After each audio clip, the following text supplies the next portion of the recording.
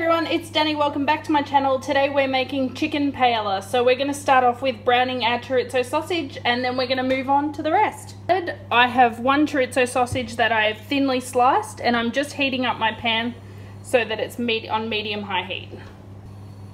You can use a paella pan for this, but I'm just going to use a fry pan because that's what we all have. And um, it's probably the easiest way to do it.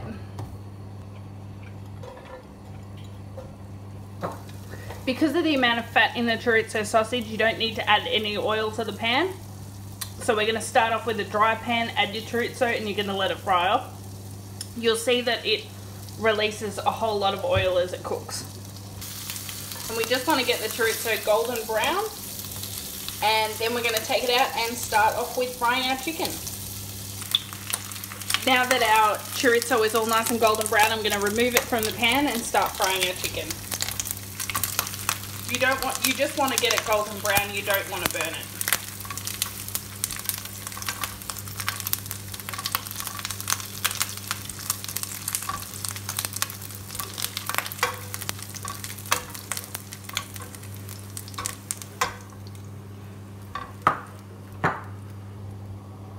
Alright, so I have 400 grams of chickens. I'm going to fry this off in two batches. You want it thinly sliced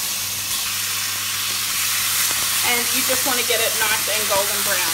So you don't need to cook it all the way through, just get the, the outside nice and golden brown. Again, it's still over medium-high heat.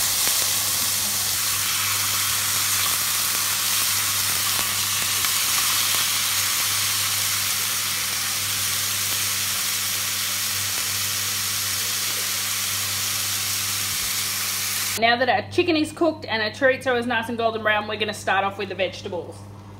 So here I've got a tablespoon of vegetable oil that I'm going to heat in the pan. And then I'm going to add capsicum and onion. So we're going to fry these up until they're nice and translucent. You don't want the vegetables to be burnt, you want them to be nice and translucent.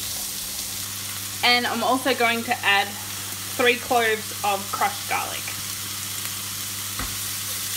Vegetables are nice and soft and translucent.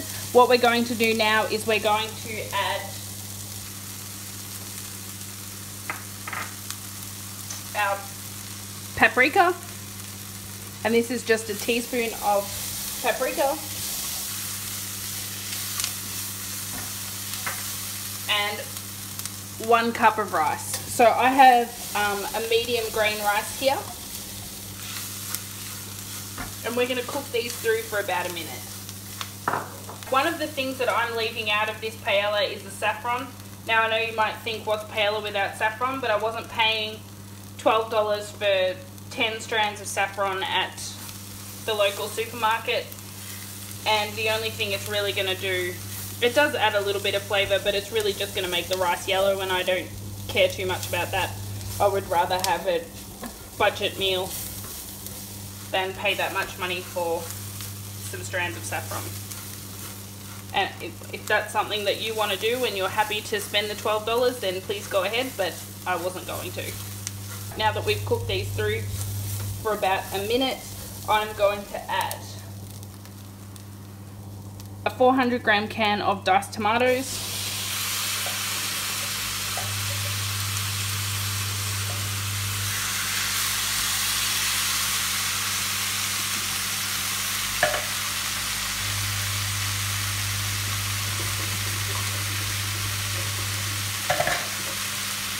and one and a half cups of one and a half cups of chicken stock. So I'm going to get these to a boil and then we're going to add back the chicken, the chorizo and let them cook for about 20 to 25 minutes. Boil, I'm going to add back the chicken and the chorizo.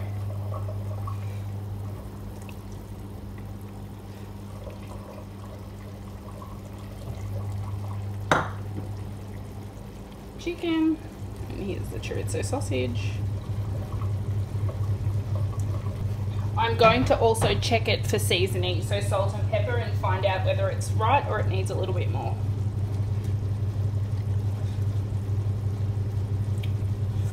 We should be okay with that. And let it simmer for 20 to 25 minutes In that time the rice should be cooked and we can come back and serve it up. After 20 minutes, this is what my paella looks like and I'm now I'm going to serve it up and enjoy. If you like this video, I hope you um, stick around and subscribe to my channel. Give me a big thumbs up if you liked it and I hope to see you next time on Do It Frugal. Bye! See ya.